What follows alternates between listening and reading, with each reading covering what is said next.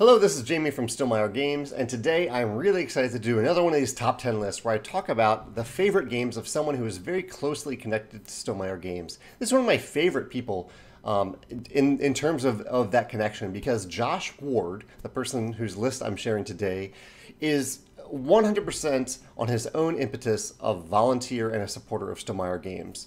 Years ago, Josh started answering questions about our games on uh, mostly Facebook groups, but he also does it on Board Game Geek, but uh, really, really focused on a big focus on the Facebook groups and all the questions that are asked in each of the Facebook groups for each of our games. And Josh just started answering the questions. He knows our games really well. I think he has a really good brain for remembering rules, and so he, he's very good at remembering those rules. He started uh, posting screenshots to show people the, the answers to those rules. He has probably answered thousands of questions at this point.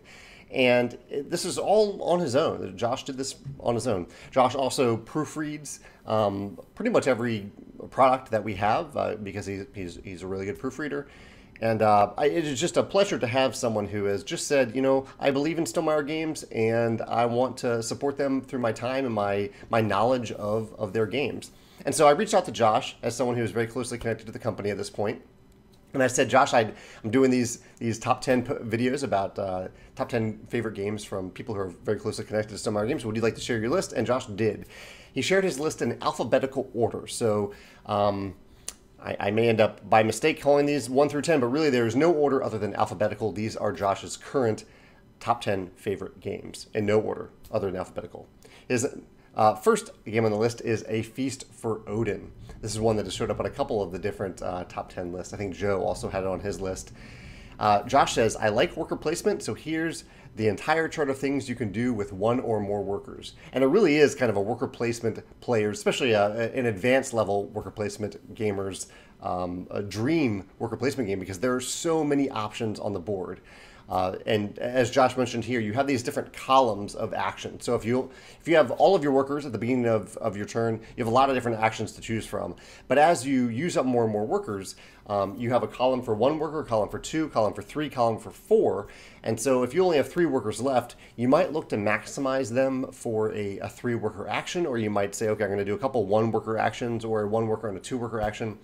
Um, and it's one of those games. Actually, one thing I really haven't mentioned about this game is that uh, there there is blocking. Like when I take an action spot, there's only really one other way to get it, and it's that way is really limited. So usually when I take an action, no one else can take it that round. So there is blocking, but because there are so many other actions available, it, it never really feels like blocking. Like, yeah, there are times where you take something that I really want. That's going to happen. That's going to happen in worker placement. But because when you take that thing, there's also five other things that look pretty good to me. Um, it still feels pretty good. It doesn't feel like a game where you are constantly blocking other players from doing the things that they want to do or where you're being blocked. Um, so yeah, A Feast for Odin, that's one of Josh's favorite, uh, top 10 favorite games. Second in alphabetical order is Azul Summer Pavilion, and this is one of the two games on the list that I actually own. Azul Summer Pavilion. This is my favorite Azul. Let's see what Josh has to say about it. He says, of all the Azul games, this is the one that I find the most thinky, and I need to play plan ahead further. I totally see that about Azul, about Summer Pavilion. The thing that I really love about this game is how rewarding it is during the game itself, uh, and not just in terms of points. There are lots of little completion bonuses throughout the game. You can kind of say it's a little glossy here, but lots of completion bonuses throughout the game that let you gain extra tiles. And that feels really good to me that I can combo together a few things, put the pieces in the right place, and get something right away. Not just getting points, not just getting points at the end of the game, but get extra tiles right away. That feels really good. And I love that about Azul Summer Pavilion. Josh's uh, one of Josh's games that I haven't played, one of uh, two games on his list that I haven't played, is Black Angel. Black Angel, he says, such a tight game of interconnected systems, there's never quite enough time or cards to do everything you want. I really need to try this game. Uh, I, I, love the aesthetic of it. It has these brightly covered ship, colored ships that are on a, a mostly a dark board, um, and I love that aesthetic that they chose for it. But I haven't actually gotten to play it yet, so I don't know much about it. I've heard it's a little bit like um, Troy is in space. Troy, um, Troyes, Troyes. That's how you say it. Troyes, Troyes in space. But um, but I don't know. I haven't played it. Josh's next game on the list is one that I was just talking about with some friends the other day, and that is Forbidden Desert.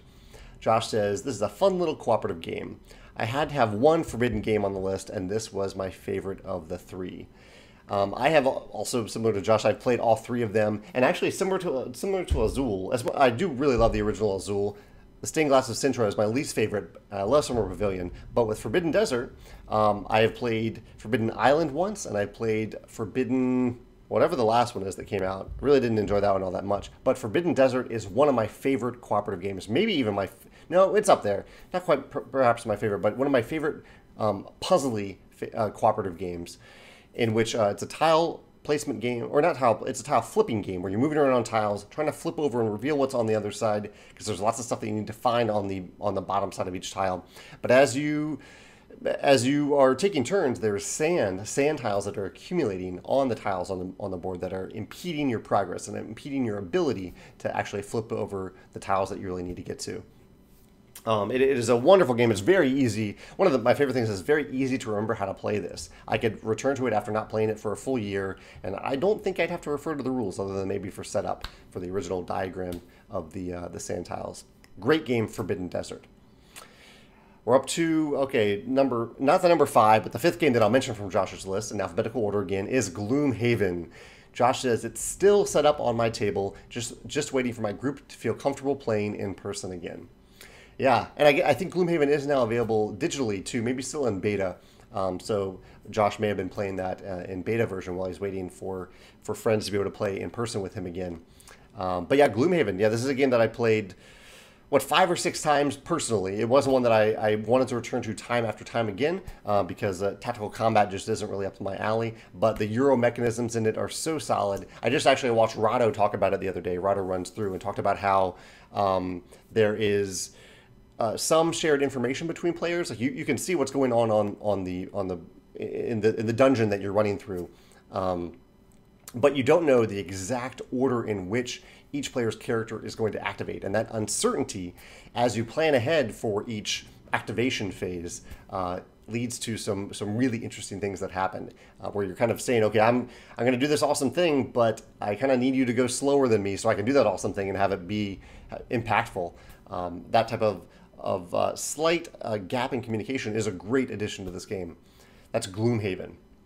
So now we're in the bottom five of Josh's list. I hope I'm not missing a game here. One, two, three, four, five. Yeah, there we go. Five more. Glory to Rome. This is the other one that I haven't played. I know that's a travesty for those of you who love Glory to Rome. Josh says he loves the black box edition of this game with really clean graphic design. The art, cards, and gameplay mix to form a perfect game that's high praise. I've heard great things about this game from many people, and I really need to give it a try. Um, but I, have heard it has multi-use cards, some very powerful combos that you can set off, or and a powerful engines that you can get running. I just need to play it. That's Glory to Rome. The next game on Josh's list is Photosynthesis. He says a good abstract puzzle game with a wonderful theme on top. And this is a little bit of a deceptive game too. I, you've probably seen this on tables where there uh, it's a it's a game with a nice verticality to it because you have a number of uh, trees, tree tiles that, that are that are three dimensional that are around the board, and um, it looks like a very pleasant game, but it's actually a very harsh game. Uh, players punish each other throughout the game because they're they're blocking each other from the sun um, with the way that they place their trees. But so there's a ton of player interaction in what is otherwise, uh, uh, well, I would say it's it's somewhat abstract. Josh uses the, the term abstract, but the the the the presentation and the way the theme is presented throughout the game um, isn't all that abstract to me. But uh, but there's just it, there, there's a lot of interaction in this game. So if you like interaction with other players and you're looking for a theme that might appeal to, to players that isn't you know fantasy and wizards and, and science fiction, Photosynthesis is a great game to try. The other game on Josh's list that I own is QE. Josh says I bid $27 billion for putting this game on the list. That's a great way to put it. This is a game where you can write down any number. It's an auction game where you can write down any number on uh, on these little tiles that you're that you're um, you're bidding to gain these tiles, and uh, it just leads to some some. I, I, love that hook. That is, that is an incredible hook in an auction game that you can bid any amount. With the catch being that if you have spent the most money at the end of the game, you can't win. Uh, you you you just you you are out.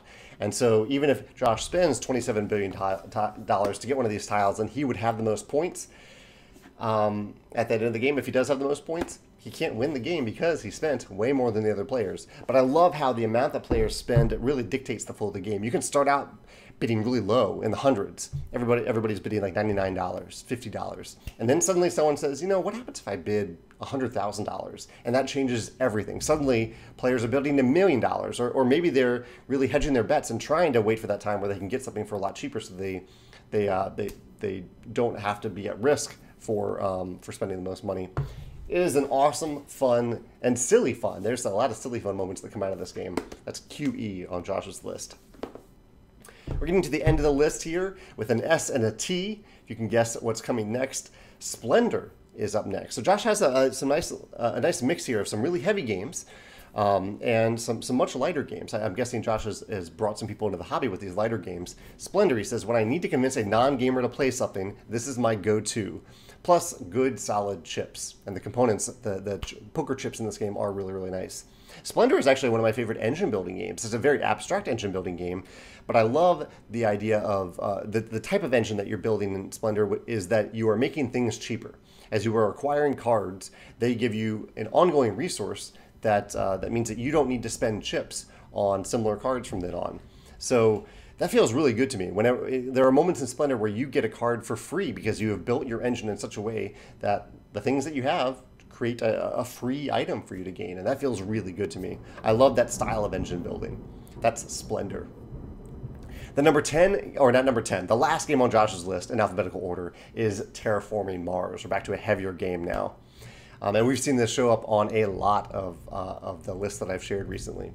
Terraforming Mars, he says Tableau management, since I couldn't, couldn't put Wingspan on the list. That's right, yeah, Josh didn't want to put any Stonemaier games on this list. He does enjoy many of the games that Stonemaier Games publishes, otherwise he wouldn't be so involved with our company. But um, but I, I, totally see why he relates Terraforming Mars to Wingspan. They are both games with a lot of unique cards, with a great theme mixed in with them. That the theme of the cards is reflected by the mechanisms and vice versa. And, uh, and they're both engine building games, and that every everything you do makes you feel more and more powerful throughout the game in Terraforming Mars, same as in Wingspan. Um, and Terraforming, Terraforming Mars has some awesome uh, thematic elements too about how you are trying to bring up the temperature to a certain level, how you're trying to uh, get the oxygen level to a certain amount, and a certain number of oceans on the on the map itself. I love those, especially in a competitive game. I love that you are all trying to uh, collaboratively terraform Mars so the game can end and, and someone can win. You win together in that way, even though only one player actually wins the game. Uh, but yeah, Terraforming Mars is the last game on Josh's list. I'd love to hear your thoughts on these games. If any of these games are also on your top 10 favorite game list, or if there are any of these that you want to try, or if you want to share anything with me about Black Angel and Glory to Rome, since I haven't played either of those games. I'd love to hear your thoughts in the comments below about those or any of the games on this list. Thanks. And thank you to Josh for, for putting together this list.